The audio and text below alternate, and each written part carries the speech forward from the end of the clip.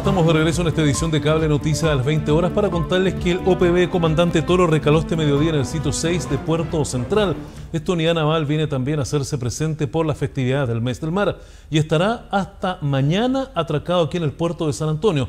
Especialmente la invitación es para todos los sanantoninos que lo quieran conocer, que tienen que aprovechar precisamente este día viernes entre las 15 y las 19 horas.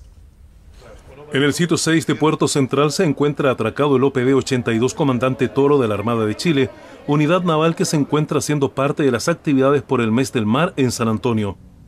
Niños y público en general visitaron el patrullero, lo que para el capitán de fragata Juan Soto, comandante del OPB Toro, es una gran ocasión de estar junto a la comunidad, por eso destacó esta venida al puerto. Estamos muy contentos de venir al puerto San Antonio, uno de los principales puertos del país, eh, para conmemorar eh, las glorias navales.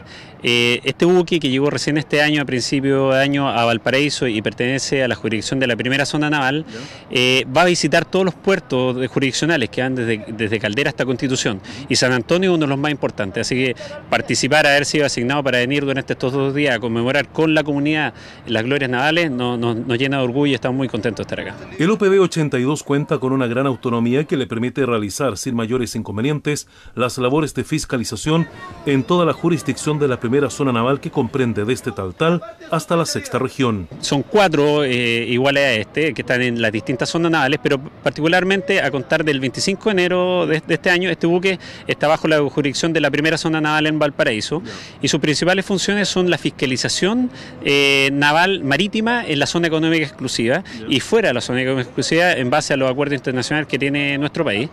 Eh, y también soporte a toda la zona aislada eh, de, nuestra jurisdicción, incluyendo la isla Juan Fernández, Isla Pascua, San Félix, San Ambrosio, Selkir. Un total de 45 personas conforma la tripulación de esta unidad de la Armada de Chile, que hasta hace unos pocos meses sirvió en el norte del país, siendo un buque construido en los astilleros de Asmar. Este es un buque que tiene una, una autonomía tremenda, eso es que es capaz de desplazarse por mucho tiempo y operar durante mucho tiempo en la mar.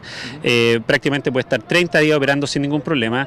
Eh, puede desarrollar una capacidad, una velocidad de 21 nudos para efectuar fiscalización y llevar soporte logístico a Isla Pascua, volver sin necesidad de reabastecerse en la mar, eh, recuperar náufragos, efectuar rescate en la mar, etcétera. Nosotros cada vez que llegamos a puerto recuperamos niveles y quedamos inmediatamente listos para zarpar durante 30 días para cualquier operación que sea necesaria en nuestra jurisdicción, en alta mar o si es necesario en otra jurisdicción. Este viernes 18 de mayo continuarán las visitas, por lo cual el encargado de comunicaciones de Puerto Central destacó la presencia del patrullero marítimo en sus muelles. Bueno, muy contento de poder contar con la presencia de la patrullera Comandante Toro aquí en nuestro sitio 6 de Puerto Central porque se da la posibilidad de que la comunidad se acerque a conocer ¿cierto? Eh, los alcances que tiene esta moderna eh, máquina ¿cierto? Que, que surca los mares ¿cierto? en la primera zona naval y que cumple labores de fiscalización y de resguardo de nuestra zona económica exclusiva para Puerto Central significa hacer un trabajo previo con la Armada de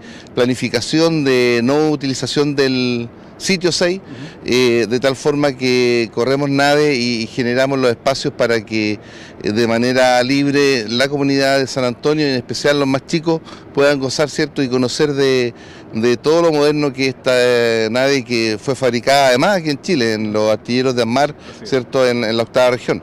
Por lo tanto, es un motivo de mucha alegría para Puerto Central. Hemos invitado a las familias de nuestros trabajadores, hemos invitado a varios colegios que son alianza nuestra. Mañana tenemos la visita de, de varios jardines infantiles y reiterarle a los vecinos y a las vecinas de San Antonio que mañana las visitas son de, las 15 horas hasta las 19 horas, así que bienvenidos acá, solamente tienen que llegar con la cana y el buen ánimo y no se necesita ningún otro requisito para ingresar. Una vez terminada la visita del OPB Comandante Toro, la unidad tomará rumbo directamente hasta Caldera para participar de las actividades del 21 de mayo programadas en esa zona del país. Nosotros le damos la bienvenida ahí al OPB Comandante Toro en su llegada a San Antonio. Recuerden que va a estar solo hasta este día viernes, hasta las 7 de la tarde, recibiendo visitas partiendo de las 15 horas.